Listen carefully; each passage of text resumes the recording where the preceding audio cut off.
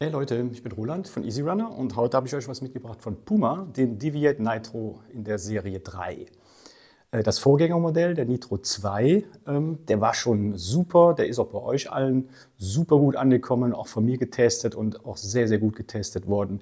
Von daher darf man mal gespannt sein, was das Nachfolgermodell so macht. Manchmal schaffen es die Nachfolger ja nicht, das Niveau des Vorgängers zu halten. Ich habe große Erwartungen und ich hoffe, ihr auch.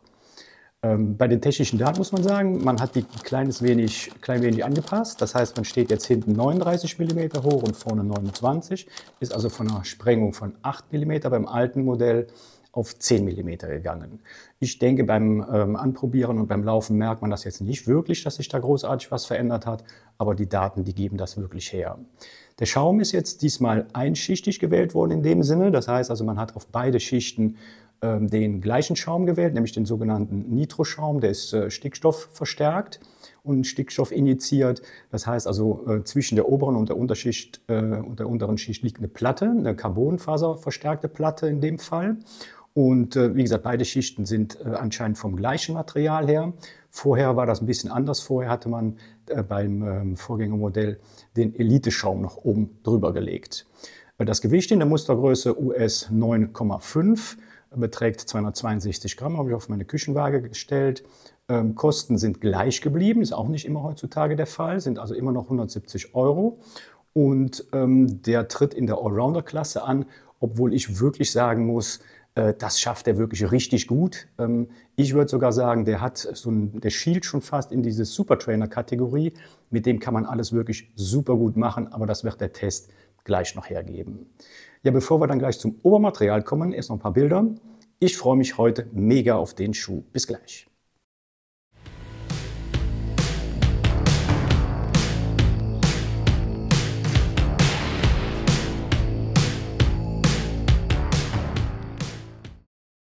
Ja, beim Obermaterial muss man sagen, äh, das ist noch wertiger und noch erwachsener geworden, das Ganze hier.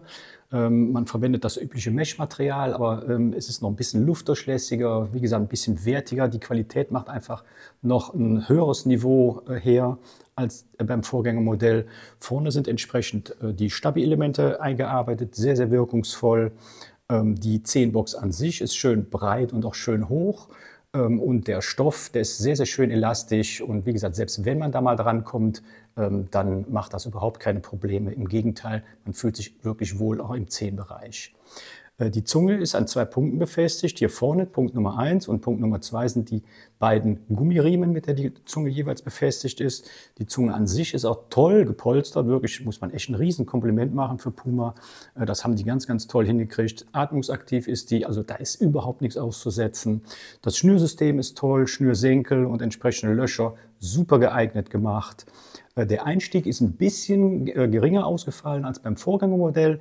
Hintergrund ist der, der Leisten äh, des Schuhs ist ein bisschen schmaler im mittleren Bereich des Schuhs ausgefallen und deshalb muss man sich minimal mehr durchzwängen, in Anführungszeichen, bis vorne in dem Vorderschuh anzukommen.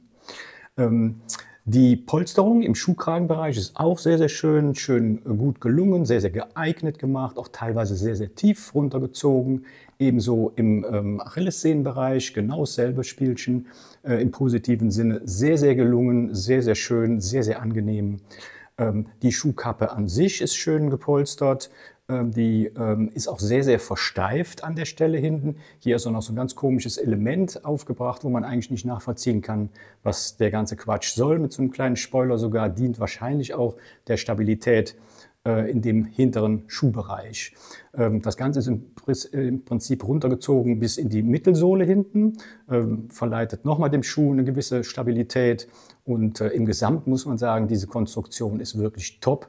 Also ich wage mal zu behaupten, der Steigerungsbereich, der hier noch offen ist, der ist extrem minimal. Also von daher muss ich ganz ehrlich sagen, Top-Qualität, Top-Niveau, super.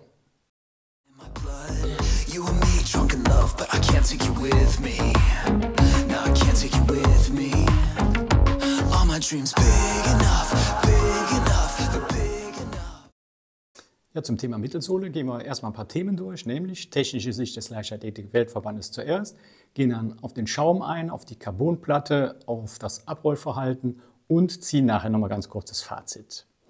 Ja, beim Thema technische Sicht des Leichtathletik-Weltverbandes können wir es kurz machen. Das Ding ist regelkonform hier. Maximal eine Platte wird verbaut, nämlich hier wird genau eine verbaut und die Höhen äh, überschreiten die 40 mm nicht. Das heißt auf gut Deutsch, hier kann man mit Rekorde laufen, wenn man denn möchte. Zum Thema Schaum muss man sagen, hier äh, ist ein Nitroschaum verwendet, der ist mit Stickstoff injiziert worden und äh, Dichte, Festigkeit und Reaktivität liegen hier im mittleren Bereich, aber bitte nicht negativ auslegen, sondern das ist tatsächlich äh, für mich, für meinen äh, Komfort und für meinen Wunsch hier sehr, sehr geeignet gewählt worden.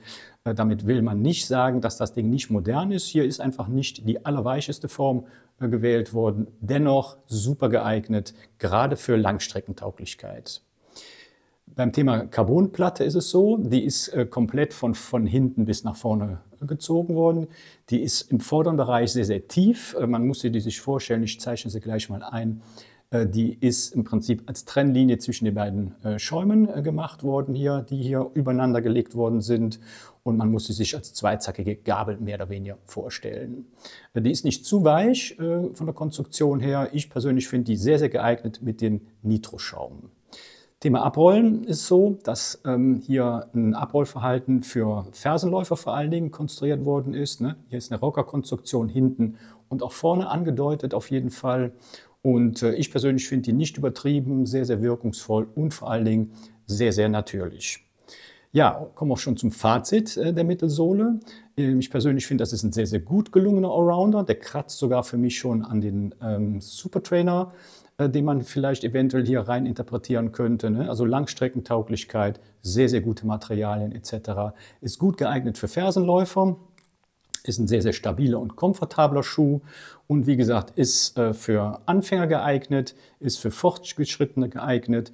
Ich sage einfach mal, das ist echt ein richtig großes Talent, den die hier gemacht haben und auch nochmal von der Mittelsohle deutlich besser als das Vorgängermodell. Der ist nicht ganz so weich gepolstert, ähm, der ist ein bisschen härter gemacht worden. I used to think that the city's not for me. Fairy tales, fantasies, not a believer.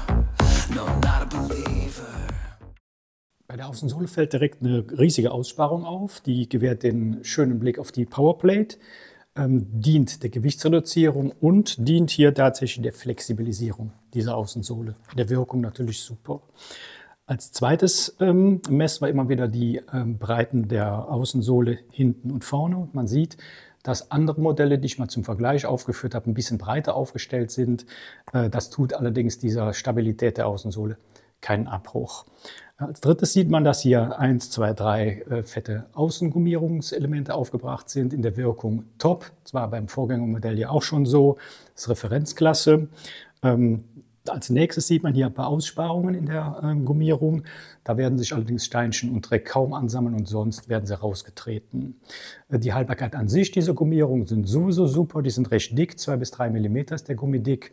Und als Gesamturteil muss man hier bei dieser Außensohle äh, betrachten, äh, das ist Referenzklasse, genau wie beim Vorgängermodell. Also Top-Performance, die hier erneut abgeliefert wird.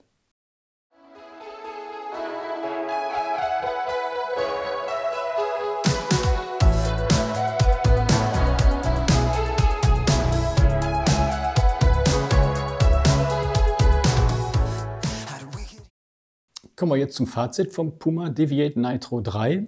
Und da kann ich nur sagen, der ist mal ein richtig guter Wurf von Puma. Der ist mega sein Geld wert. Ganz, ganz toller Allrounder. Geht für mich sogar schon in Richtung Super Trainer und das für 170 Euro.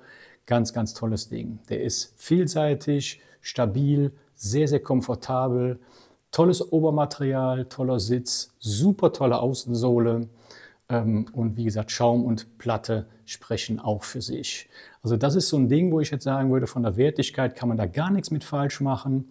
Den könnt ihr euch auf jeden Fall mal anschauen. Vielleicht ist der ja was für euch. Auf der Negativseite fällt mir nichts zu ein. Also von daher kann ich den Schuh wirklich nur mit Lob so überschütten.